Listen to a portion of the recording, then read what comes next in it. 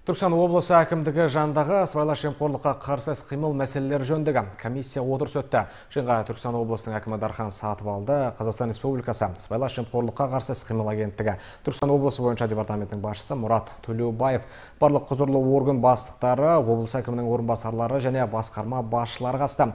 Мәжілістің күн тәртібінде алты мәселе талқыланды.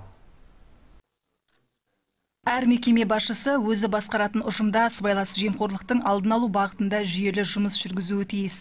Халық мүддесіне бағытталған әрбір қаражат ел игілігі жолында жұмсалу керек. Біз білім және өзге де салалардағы мәселелерді тұрақты бақылауда ұстаймыз. Осылай деп сөз бастаған облыс әкімі Дархан Сатыбалды аталмыш мәселелерді қадап айтты. Бәрін анықтаңыздар. 22, 21, 23 және де қазірден бастап 24-ті тексеріп шығыңыздар нақты қанша қажетті қаржы? Соны ғана береміз. Бізде міне кеше көрдік түркістан қаласында интернат бар. Кішкентай балаларымыздың жағдайлары өте төмен.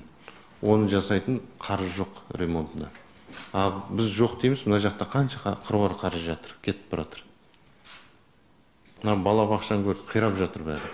Талдау тұрақты түрде болу керек. Ай сайын. Неған мен сенбеймін. Басқарма білмейді деген басқарманың экономистер білмейді дегенге мен оған келіспеймін. Алқалы мәжілісте облыс аумағындағы суармалы жерлерді мемлекет мұқтажы үшін және арнайы қорға алу әрекеттеріне қатысты сыбайлас жемқорлық тәуекелдеріне жүргізілген сыртқы талдау қорытындысы баяндалды. Бұл туралы Қазақстан Республикасы сыбайлас жемқорлыққа қарсы іс-қимыл агенттігінің Түркістан облысы бойынша департаменті превенция басқармасының басшысы есеп берді. Оның айтуынша аудандық әкімдіктер тарапынан жер кодексінің талаптарын бұза отырып, арнайы жер қорының суармалы жерлерін нысаналы пайдалану және оларды ауыл шаруашылығына байланысты емес басқа да мақсаттарға қайта бөлу жөнінде заңсыз шешімдер қабылдау деректері тіркелген.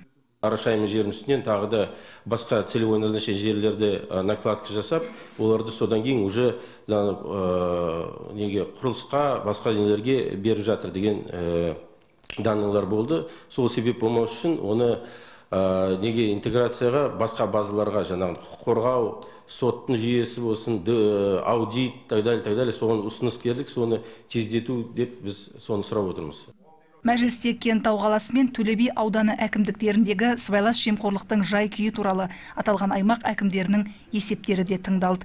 Тиісті ұсыныстар беріліп, алдағы шаралар да пысықталды. Гүлсара Тұрарбек, Талғат Елеубеков, Алмаз Данабекұлы, жаңалықтар.